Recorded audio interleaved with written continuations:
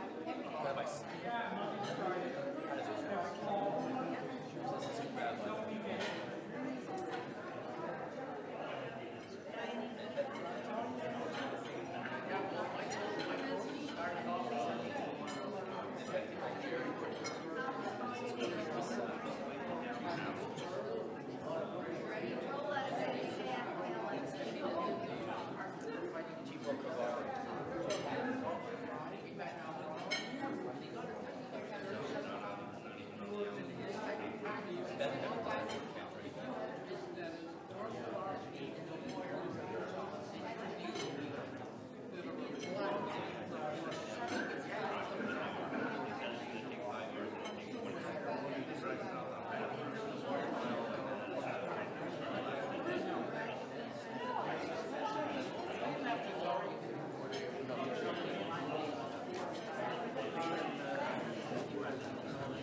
Everyone. I think every table has their dessert already. Just, and there's about 50 or people waiting at home to begin the lecture. That, that will happen soon. If you want coffee, there is coffee over there. May I recommend decaf? for all of us of a certain age. we drink real coffee now. The benchers are on the table please join me in Birkat Hamazon, and then we will be privileged to hear from Professor Berk. Page 42. Shir hamalot b'shuv Adonai et shivat Zion ha'idu kecholmim az imale sechok pinu ulshonenu rina Az yomru v'agoyim higdil Adonai לעשות עמלה, הגדיל אדוני לעשות עמנו, היינו שמחים. שוב אדוני אשביתנו כאפיקים בנגב, הזורים בדמעה ברינה יגזורו. הלוך ילכו וכו, נושא משך חזרה, בוא יבוא יבוא ורינה, נושא אלומותיו. תהילת אדוני ידבר פי, ויברך כל בשר שם קודשו לעולם ועד. ואנחנו נברך יה, מעתה ויד עולם, הללויה. הודו לאדוני כי טוב, כי לעולם חסדו, מי ימלל גבורות אדוני, ישמיע כל תהילתו.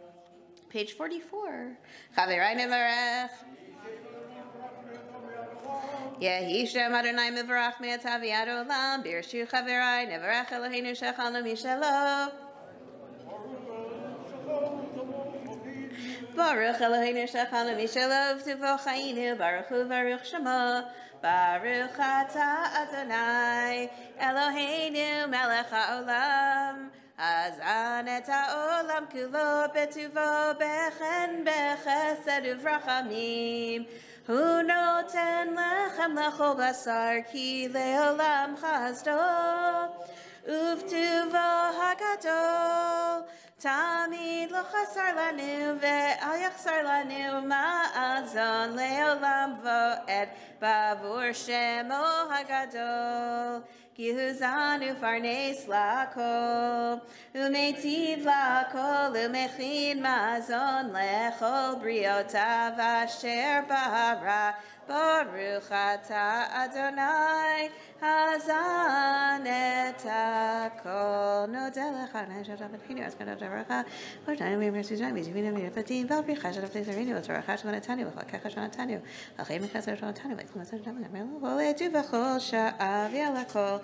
ונהי אנחנו מודיעו לך, ברכי מתי רשת, ונהי תמיד לעבד. ככתוב, ואכלת ושבעת, וברכת את אדוני אלוהיך. על הארץ הטובה אשר נתן לך, ברוך אתה אדוני, על הארץ ועל המזון, רחם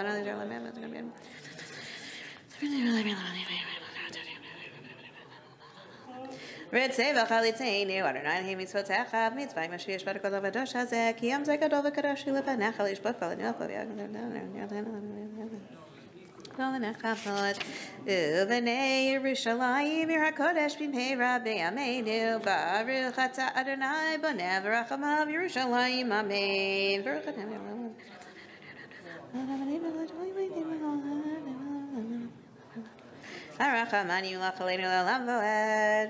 הרחמני ברח בשמיים ובארץ. הרחמנו ישתבח לדור דורים. ויפור בנו לעדו לנצח נצחים. ויתהדר בנו לעדו עולמי עולמים. הרחמני פרנסנו בכבוד.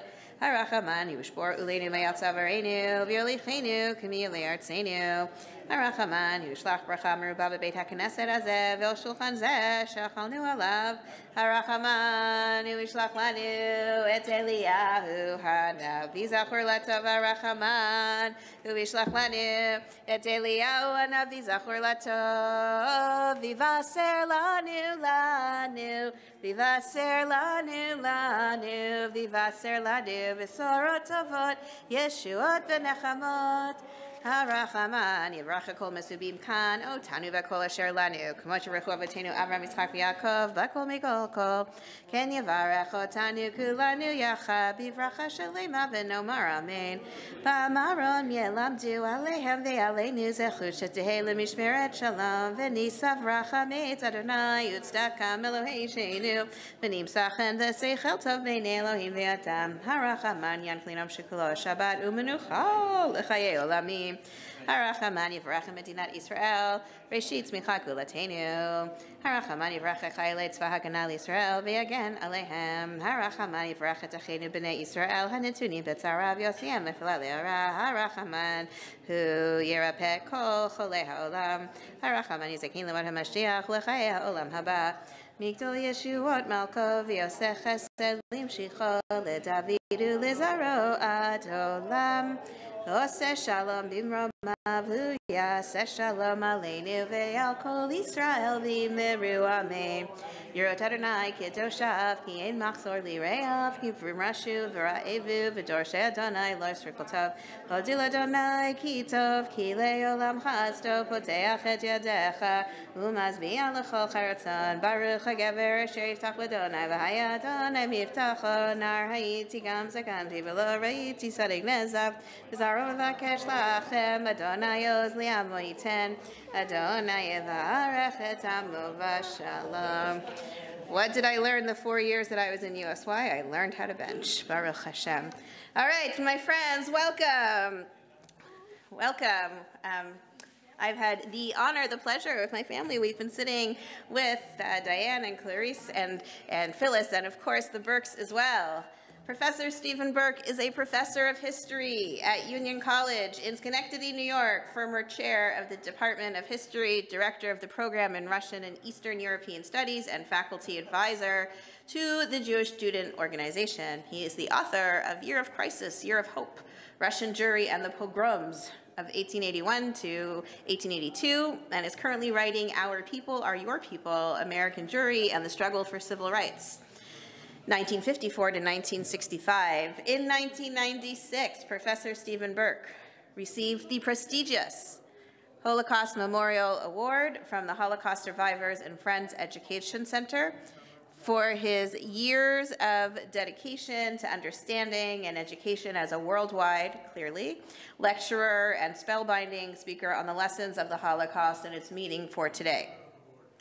In 2010, he was designated an Israel Hero for his defense and advocacy of the State of Israel by JERNY, the Jewish Educational Resources of New York. He has been an annual visit, visiting scholar at Beth Tzedec. Here it says over a quarter century, but he told me just now for 30 years. Tonight, we thank our own Beth Tzedec, Beth Emes Beis Yehuda, the Jewish Foundation of Greater Toronto, and the Beth Tzedec Men's Club to the Sam and Sarah Kirzner and Joseph Kirzner Holocaust Memorial Institute lecture tonight, this evening. We're not so off schedule. Uh, we welcome our friends watching on live stream. Professor Berk will be speaking about from Emperor, Iran, from Emperor to Ayatollah. There will be no Q&A following because it is Friday night and we all need to come back to shul tomorrow at 9.30. Professor Berk will also be speaking tomorrow morning uh, during the sermon slot, so thank you for that, Professor Berk, on the Islamic Republic, and then he will be back in this room for Q&A for all three of his lectures. Professor Stephen Berk, let's all pay, give him attention and end our side conversations so we can learn, which is what we came here for.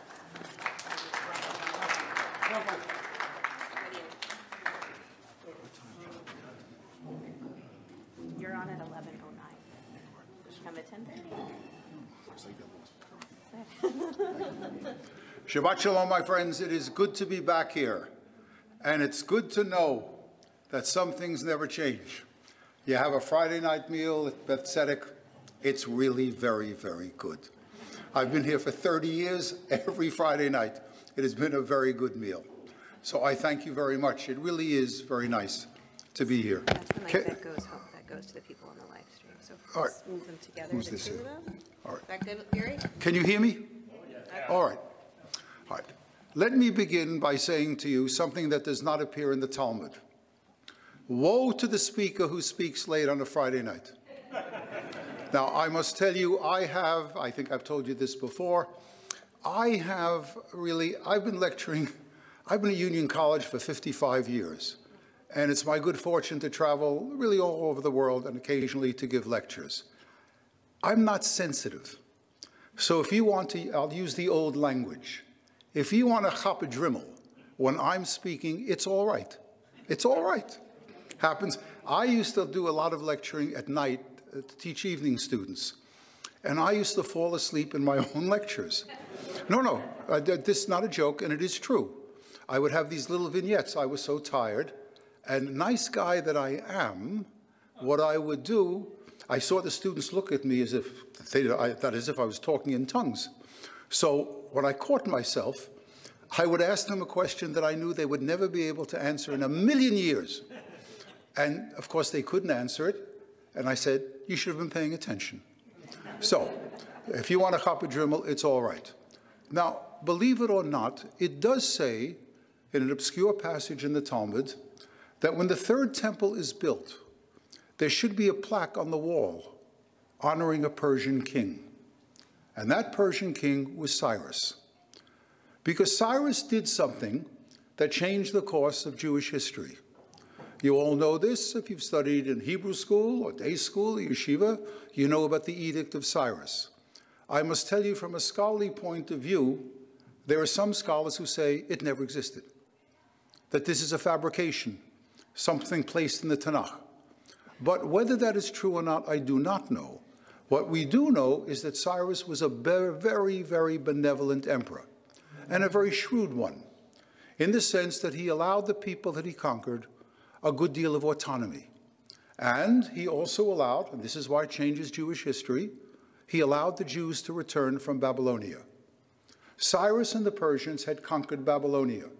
And of course, I'm sure you all remember, in the year 586 before the Common Era, Nebuchadnezzar destroyed the temple, and thousands, if not tens of thousands, of Jews were carted away. Once again, we do not know how many were actually carted away, and we do not know how many actually returned. But he allowed the Jews to return and to rebuild again, to begin the creation of the Second Temple. At the risk of being historically a heretic, heretic, I will say to you that the Edict of Cyrus, whether or not it existed or not, but the fact that he allowed the Jews to return and begin the building of the Second Temple is probably even more important, believe it or not, than the Balfour Declaration. Without the Balfour Declaration, of course, there is no creation of the State of Israel in 1948. But without the return of the Jews to Eretz Yisrael, there is no Second Temple, and they may not have been a Jewish people. So there is Cyrus, and the Jews do well living under the Persians. The great change is coming, going to come in the year 634, 634 of the Common Era. Arab armies will sweep out of what we now call the Arabian Peninsula.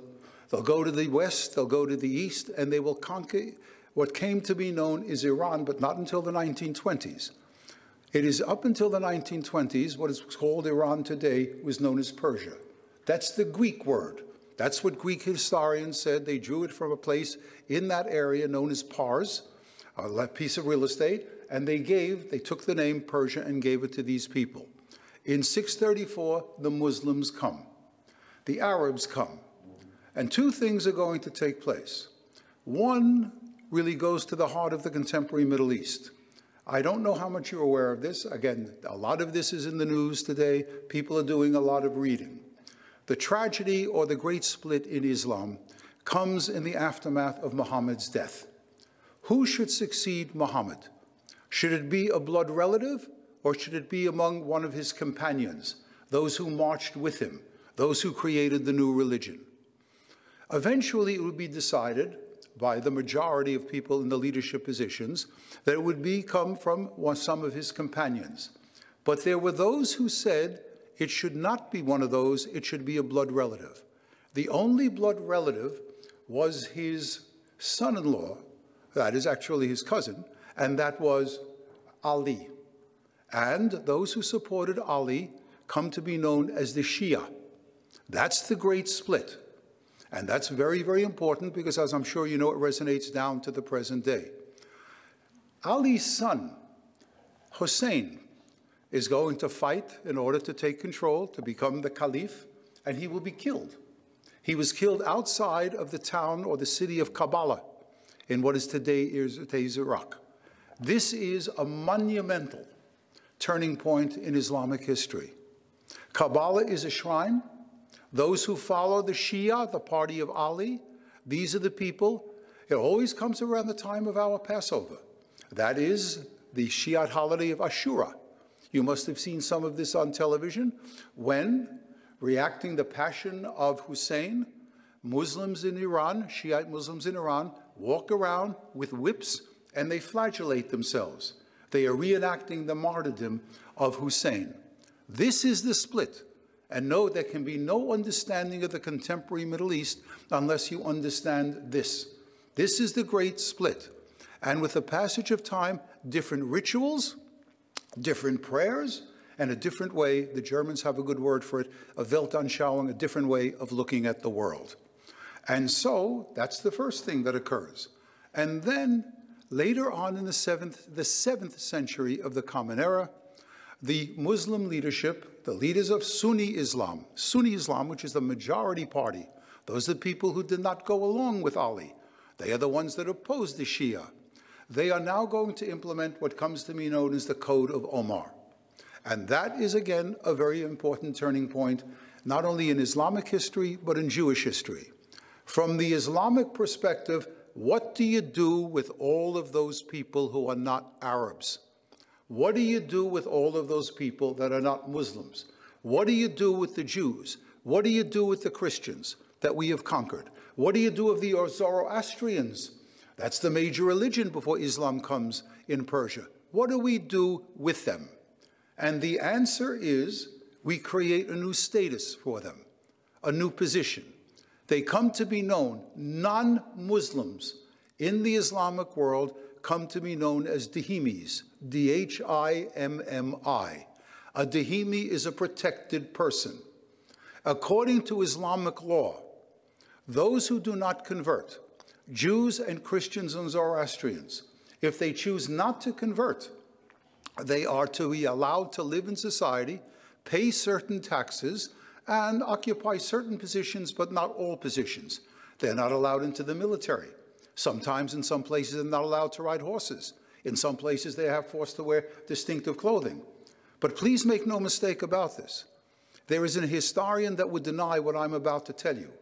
For a thousand years, it was probably better to be a Jew living under Islam than to be a Jew living under Christendom. Hands down. No burning of the Talmud, no pogroms for the most part. I don't want to idealize it. There are some difficult times for Jews in Moorish Spain and elsewhere and even in Persia. There is, it's difficult, but it is much better, again, to be a Jew living under Islam than it is to be living under Christendom. So, this is a good time, a relatively good time in the Islamic world. And when the Turks take over or create the Ottoman Empire, the position is going to be a good one. It's no coincidence.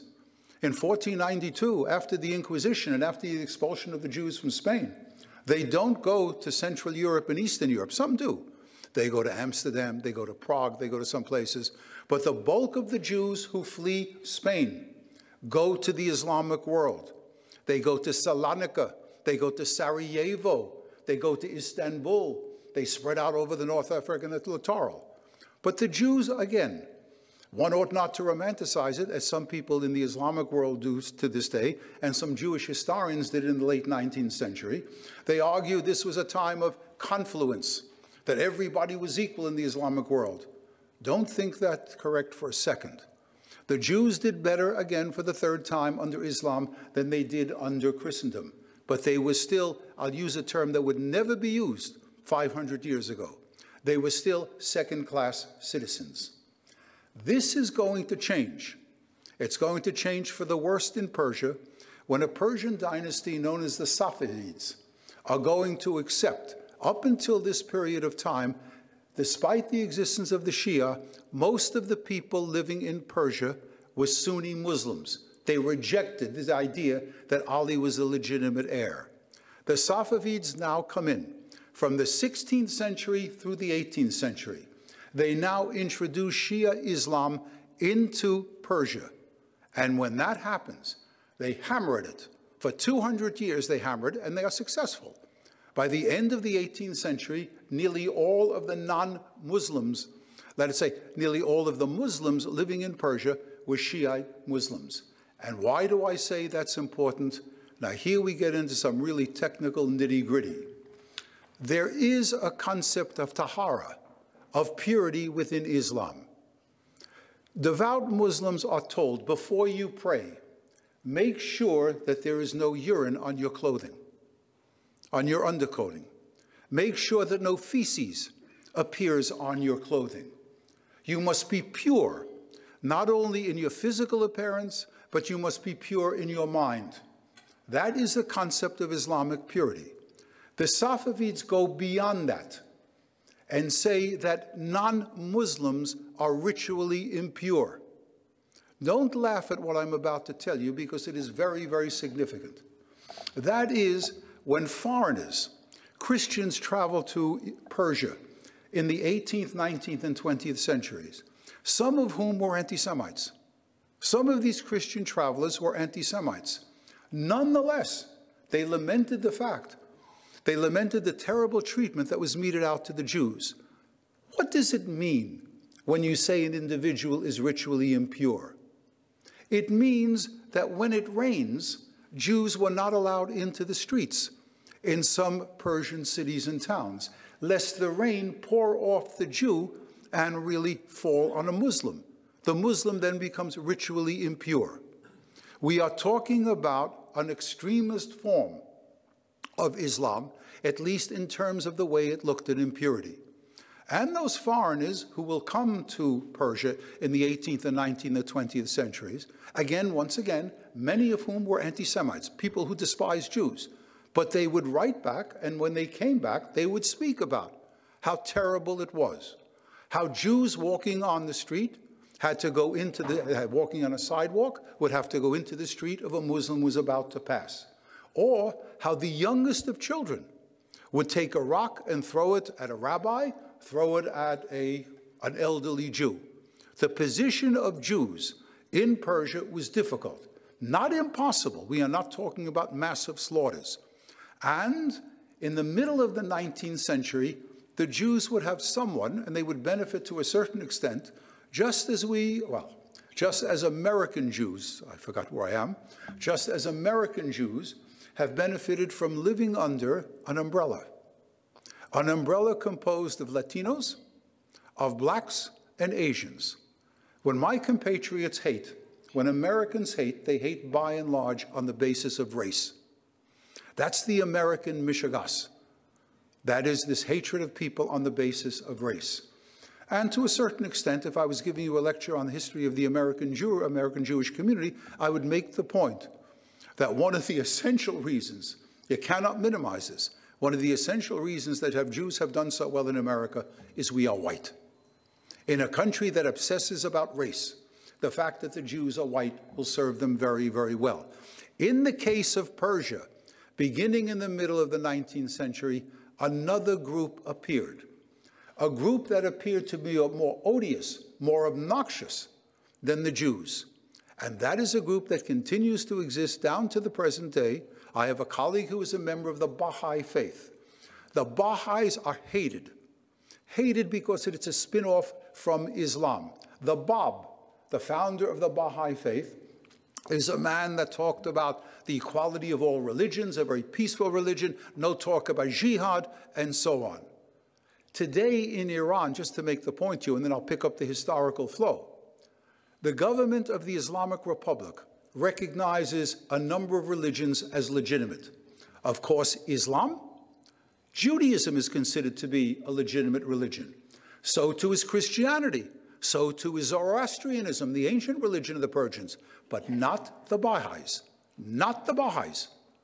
The Baha'is suffer even more restrictions and have been murdered on more occasions and have been discriminated against more than the Jews. And by the end of the 19th century and the early part of the 20th century, the winds of change were coming. One in a positive way and the other in a negative way. The positive way is the ideas of the Enlightenment, the ideas of representative government, the ideas of democracy, parliamentary systems of government. That was coming into Persia. And so too, on the negative way, was something else. The early, late 19th, early 20th centuries this is the twilight of European imperialism. The British and the Russians are going to now come into Persia. They will inflict a great deal of discrimination, humiliation upon the Persians. If you want to understand, let me say to you what I tell the students at the first day of every course that I teach at Union College. You cannot explain the present by the present. Everything has a history. If you want to understand the hostility of contemporary Iran to the West in general, and ultimately the United States in particular, you have to understand the twilight of imperialism. When the British and the Russians came, they took control of the sale of tobacco. They took control of, the sale of opium. They dominated the country. They humiliated the Iranian or the Persian people. Now, what's going to happen, of course, is there's going to be a revolt against that. Here's the one Arabic word that you have to know. It is what is known as the ulama, U-L-A-M-A. The ulama is the Islamic clergy. They are furious with the changes that have been taking place. So too are the bazaris, the people in the bazaars, because their position is undermined by the massive influx of British manufactured goods. Lots of people imbued by the new nationalism are going to want an elimination of this foreign influence and want a parliamentary government. And what is going to happen is there's a revolution. A revolution in 1910 and 1911 in Iran. A constitutional government is created. The Shah remains, but he becomes a figurehead. But the problem is it's chaos in Iran, chaos in Persia from 1911 to 1922. And then what do you think is going to happen? It happens in many, many countries, and that is a strong man appears. This is a man from the Cossacks. There are Iranian Cossacks that were trained by Russian Cossacks. His name is known as Reza Khan. And if you were my students, and you are lucky that you are not my students, because I'll tell you what happens. I think I told this to you before. When I ask a question like this of my students, they give me the unsophisticated duh or the more sophisticated well but nothing comes forth after that.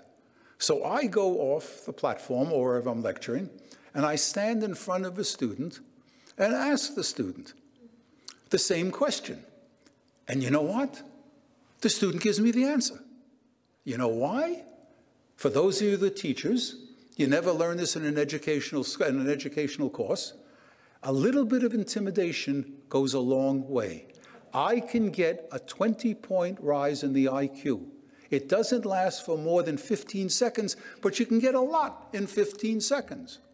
And the answer is here Reza Khan is to Persia what Kemal Ataturk was to Turkey. Again, if you want to understand what is happening in modern Turkey as I'm speaking to you, You have to know about Kemal Ataturk. This is, that's his name. His real name was Mustafa Kemal. But because he saved Turkey in the aftermath of World War I, when the British and French wanted to carve up Turkey, as they carved up the Ottoman Empire, Kemal Ataturk, or Mustafa Kemal, rallied the Turkish people. And the new independent Turkey gave him a new name, Kemal Ataturk, which means the father of modern Turkey. Kemal Ataturk wanted to modernize and westernize Turkey. He wanted a true constitutional system, a true legal system based on French law and not the Sharia. He didn't want people to go to the mosque. He saw Islam as a retarding factor in the modern development of Turkey. He didn't want, he took away the fez. And he put the brim hat on Turkish men. Because if they had the hat on and not the fez, they could not kneel in the ground and really, let us say, uh, pray, put their foreheads to the ground because the hats would fall off. He did all sorts of things, gave women rights that they had never had before. And I must tell you, as a parenthesis in Jewish history, he was so desirous, Kemal Ataturk, so desirous of making Turkey a modern country that he allowed several hundred Jewish professors from Germany and Austria to come into Turkey. These were scientists, these were medical people, and so on. We don't think of Turkey as a haven for Jews during the Holocaust or the pre-Holocaust period, but to a certain extent it was. He also, again, wanted to make Turkey a modern power, and he wanted to preserve the neutrality of Turkey. That also is, presents a problem for the Jewish people because comes the war and Jews are fleeing from German-occupied Europe and they want to get to Palestine. Now, you, I don't have a map in front of me. If you're in Romania and you're in the Romanian port of Constanza and you want to get to Palestine, you got to go over the Black Sea and you got to go through the Bosporus. That is that slender piece of water in Istanbul. The Turks preserving their neutrality, pressured by the British not to allow any more Jews into Palestine, that those people are going to die. The most famous case here is, of course, the case of the Struma. That's a ship loaded with Jewish refugees that comes from the port of Constanza. The Turks won't let it go, go through the straits. The ship finally sails back to its Romanian port of Constanza. It is sunk by a submarine. We used to think it was a German submarine. It was a Soviet submarine. We have no idea why it was sunk. Out of the 664 Jews on board, one survives. The British allow him to go to Palestine. But the point, most important here, is Reza Khan Pahlavi believes this is what I must do in Persia. So what does he do? He restricts the ulama, that is the clergy. He takes away their land. He begins to bring foreigners in begins to have secular schools, begins to introduce a series of reforms. This is the beginning of what comes to be known as the Pahlavi dynasty, because he takes a name, a name from an old, from an old language, Pahlav. And what does he call himself? Reza Khan Pahlavi. That's what he calls himself. But he's got a problem. It's a problem that is experienced by a number of people in the Middle East. If you want, you're in the 1930s, and if you want Russians and the French, if you want them out of the Middle East, whom do you look to? And the answer is, uh, forgive me, I'm not being condescending, we have to finish before Shavuos, I'll give you the right answer. If you are, if you are in Egypt, Lebanon, Syria, even in Palestine, if you want the British, the French out, there's only one man that you look to, and that is Adolf Hitler. It's not Hitler's anti-Semitism that draws them, or the case of some Palestinian Arabs, it is the anti-Semitism. But in the case of the Egyptian military, in the case of Reza Khan Pahlavi, it is, I want to align myself with Germany once the war begins because he thinks the Nazis are going to win the war. Now, you know that they didn't, thank God, win the war. But some of you are old enough to remember you were politically conscious in 1940 and 1941. It looks as if the Germans are going to win the war. In the summer of 1941, after the German attack on the Soviet Union on June 22, 1941, that's the beginning of Operation Barbarossa, the Germans German cavalry, German panzer divisions sliced through the Ukraine, sliced through Belarus as a knife goes through butter. There are very few people who will predict that the Soviet Union will survive the summer, at least the early autumn of 1941. Reza Khan Pahlavi bets on the wrong horse. Because, of course, the Russians survive, the Soviet Union survives, Britain survives, the United States comes into the war, and in the Allied coalition, it is decided in 41 and 42 that Reza Khan Pahlavi has to go. So they pack him up, and he will spend the rest of his life, or a good part of the remaining life, in South Africa. And they put on the throne his young son, Mohammed Reza Khan Pahlavi. This is the last Shah of Iran. That's the one that you and I grew up with. He is not the man his father was. He doesn't look like his father. He's not as imposing a figure. He is not as self-confident as his father, and that's going to cause him a great deal of difficulty. But fair is fair. The British and the Americans and the Russians are going to carve up Iran, and the name Iran is introduced by Reza Khan Pahlavi. We are Aryans. There was a tribe called the Aryans in that part of the world. We're going to take that name. So from the middle of the late, or from the latter part of the 1920s, Persia becomes Iran. That's why we call it Iran at the present day. In fairness to everybody here, that is who is involved in Iranian history, the fact is going to be that something very good happens to the Jewish people in this period of time. It's one of the less, less known aspects of the Holocaust. There were thousands of Jewish orphans that had lost their parents who had gone to the east when the Germans invaded. They passed into Poland, Lithuania. When the Germans took over that area, some of them were lucky enough to flee further east. There were a group of about a thousand Jewish orphans. Stalin, for reasons that we do not understand, Stalin, Stalin was an anti-Semite. But in order to get further the coalition, enhance the, the goodwill here, he allows about 900 Jewish orphans to pass, to leave to go to Palestine. They go through Tehran. These are people, these is the so-called Tehran children. So that's one of the, the good things that happens in Persia during the war. Comes the end of the war, we prop up. I say we, the United States and the European countries, particularly Britain, prop up Mohammad Reza Khan Pahlavi.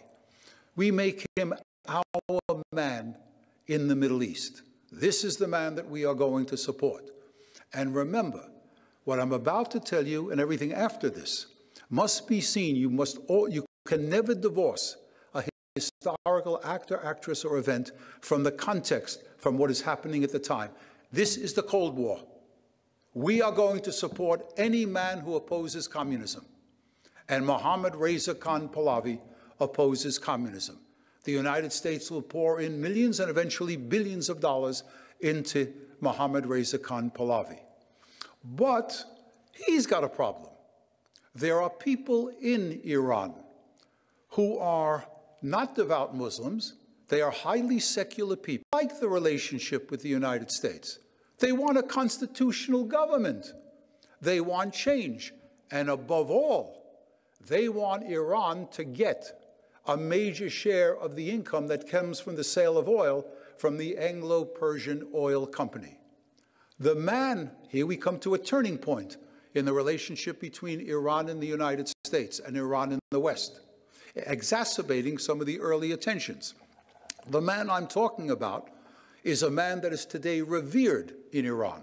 That is Mohammad Mossadegh.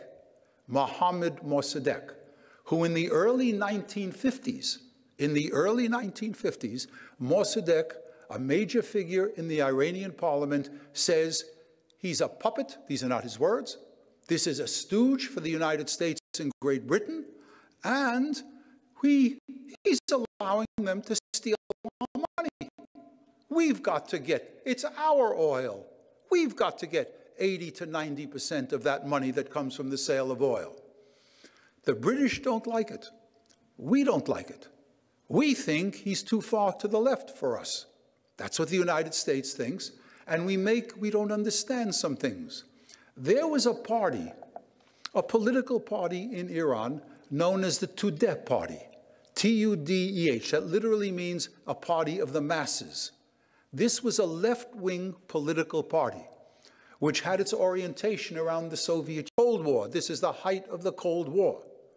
We think Mossadegh is in league with the Tudeh. He is not. He really, he is sympathetic to what they are saying. They are sympathetic to his idea of taking over the, the Anglo-Persian oil company, but he doesn't like their pro-Moscow orientation. He's not in their pocket. He's not a stooge. But remember, here I tell you what I tell my students all the time. Perception is reality. It doesn't make any difference what is real. It's perception. And the perception in London and in Washington, D.C., is that this man is a man of the left, he is tilting towards the Soviet Union, and he has to be removed. The Shah, Mohammad Reza Khan Pahlavi, also wants him removed because he is talking about a true constitutional government. And he, the Shah doesn't want that. He wants to rule as an absolute ruler. And what nobody admits in Iran today, the ulama, the Islamic clergy, which today makes Mossadegh a great hero and a martyr to American and British imperialism, the ulama didn't like him because Mossadegh was vehemently secular and anti-clerical. What is going to happen is there are demonstrations against Mohammad Mossadegh. He hangs in there. Could he have stayed indefinitely? Don't know. There are massive demonstrations on the streets. But in Washington and London, they're not going to take any chances. So the CIA and MI6 send representatives to, again, Tehran, and they engineer the overthrow of Mohammad Mossadegh. If I were giving a lecture, if they allowed me to give a lecture in Tehran, and I said to them what I'm saying to you, I'm not sure they would lynch me, but they would make life very, very difficult. Because I said something, what they would love is, oh, Prof, you did the right thing. You spoke about the American imperialism. We love that. But that I also said that the ulama also wanted to get rid of Mossadegh. They would never accept that. In other words, we interfered. Would he have lasted if we didn't interfere? That's a question that we'll never know. But he did interfere. We did interfere. And to this day, that is hurled against the United States, the West, and Great Britain. We used them, we manipulated them, we interfered in their internal politics. We took a good man out, a man that was a, an Iranian nationalist, we took him out. And again, if you want to understand why the United States, under the Ayatollah Khomeini, is referred to as the big Satan, that's important. What I just told you about Mossadegh incident, that's important. And then something else. You know what the great turning point in the history of the Middle East is? It goes beyond Iran. It involves the entire Islamic world. For us, 1948 is the year of liberation.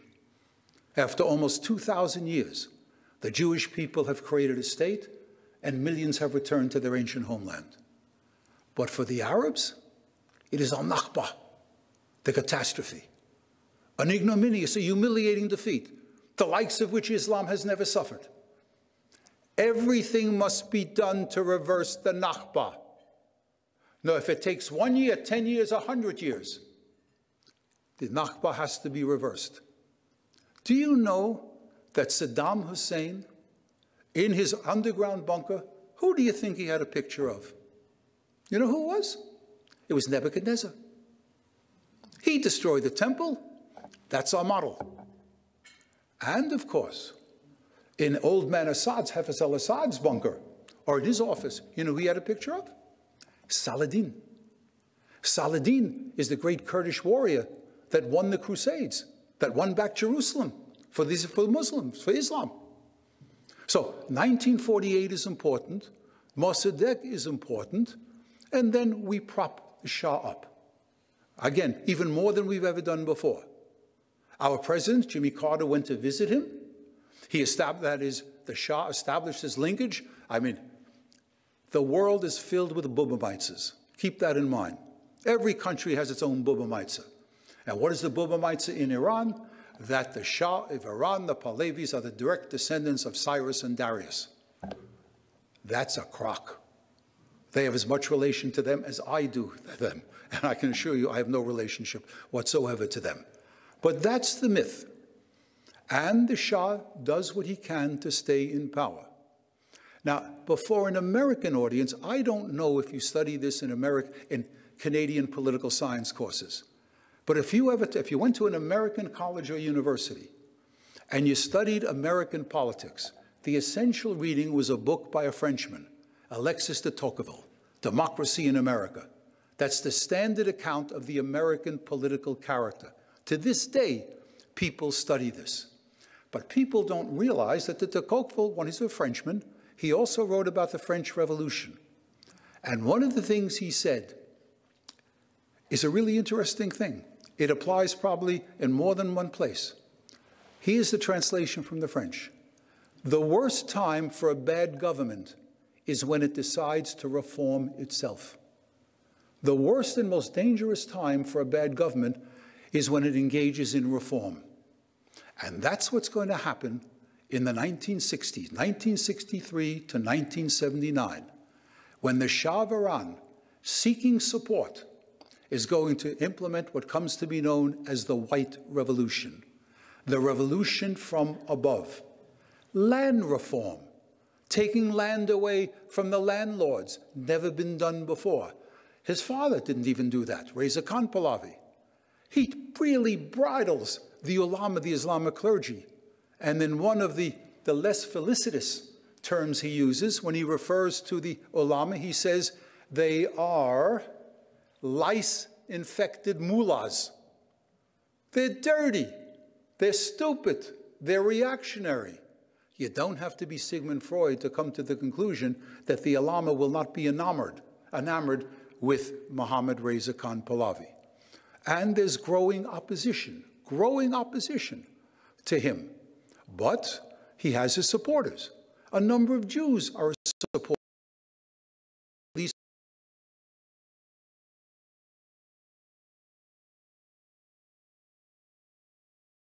into the universities. They allow them to go and become professionals. They allow them to enter into business.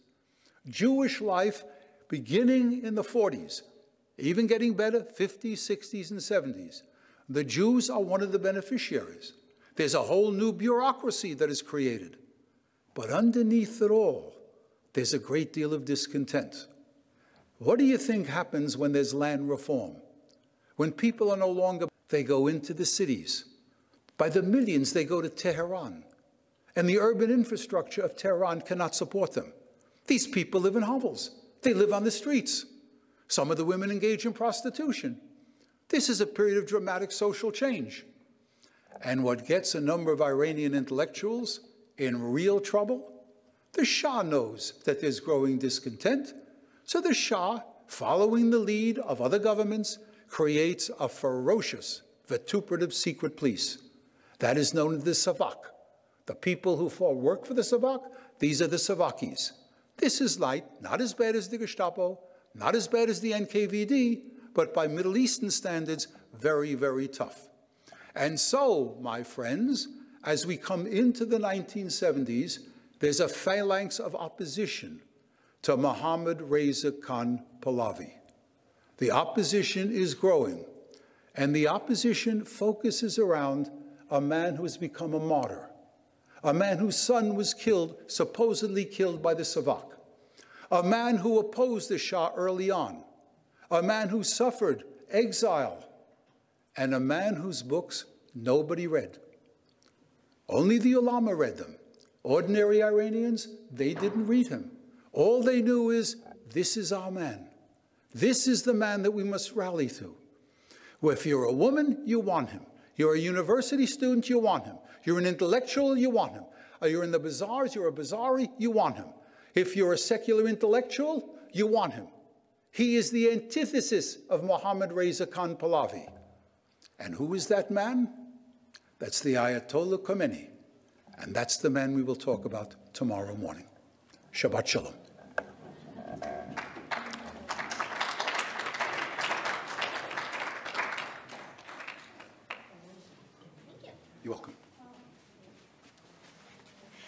Yasher Koach, and thank you for leaving us on that cliffhanger.